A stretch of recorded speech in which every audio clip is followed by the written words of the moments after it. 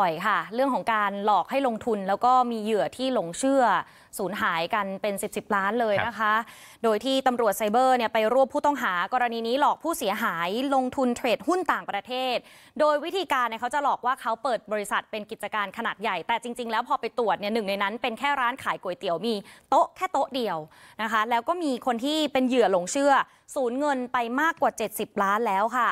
โดยทั้ง 4 จุดที่ตำรวจไซเบอร์บุกเข้าไปตรวจค้นในครั้งนี้นะคะ ก็พบว่าจุดแรกคือที่บริษัท PC International Trade ค่ะ อยู่ที่จังหวัดหนองคาย พบว่าจุดนี้จดทะเบียนเป็นบริษัทผลิตผลิตภัณฑ์จากสัตว์ แต่ว่าเจอว่าเป็นร้านก๋วยเตี๋ยวขนาดเล็ก ที่มีโต๊ะให้บริการลูกค้าแค่ 1 โต๊ะนะคะ นี่คือจุดแรก ส่วนจุดที่ 2 คือบริษัทแฟชั่นนิสต้าจำกัดอยู่ที่จังหวัดระยองค่ะ จดทะเบียนเป็นบริษัทขายปลีกเสื้อผ้า แต่ว่าที่จริงแล้วเป็นห้องแถวชั้นเดียวสำหรับพักอาศัยภายในไม่มีการประกอบกิจการอะไร ส่วนจุดต่อไปจุดที่ 3 เป็นห้างหุ้นส่วนจำกัดพิรยาการค้าอยู่ที่พิษณุโลกค่ะ จุดนี้จดทะเบียนการค้าเพื่อจำหน่ายอาหารทะเลแปรรูปอาหารสัตว์ แต่ว่าพบว่าสภาพเนี่ยเป็นบ้านสองชั้น ครึ่งปูนครึ่งไม้ ไม่ได้มีการประกอบกิจการการค้าแต่อย่างใด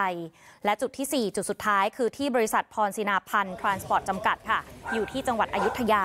จดทะเบียนเพื่อการขนส่งสินค้าและผู้โดยสารทั้งในและต่างประเทศ แต่ว่าพบว่าสภาพจริงเนี่ยเป็นร้านขายของชำแล้วก็เป็นบ้านพักอาศัย ไม่ได้ประกอบกิจการบริษัทอะไรอย่างใดเลยนะคะ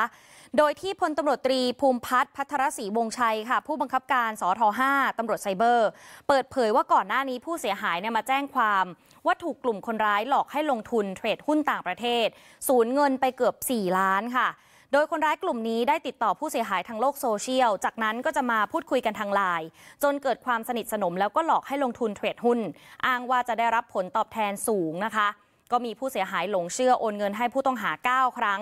รวมเกือบ 4 ล้านบาท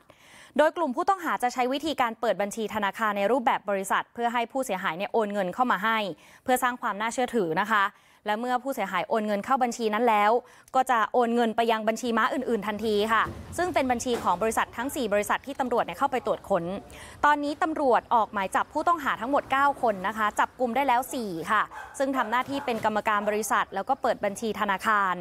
ขณะที่ผู้ต้องหาก็ยอมรับสารภาพบอกว่าได้รับการว่าจ้างให้เปิดบริษัท แล้วก็จดทะเบียนพาณิชย์ โดยแต่ละคนจะต้องเปิดบัญชีธนาคารให้ได้ 5 บัญชี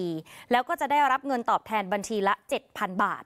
ก็มีผู้เสียหายที่แจ้งความแล้วตอนนี้คือ 27 รายนะคะ ความเสียหายมากกว่า 70 ล้านบาทตำรวจก็ต้องขยายผล เดี๋ยวต้องจับกลุ่มผู้ร่วมขบวนการทั้งหมด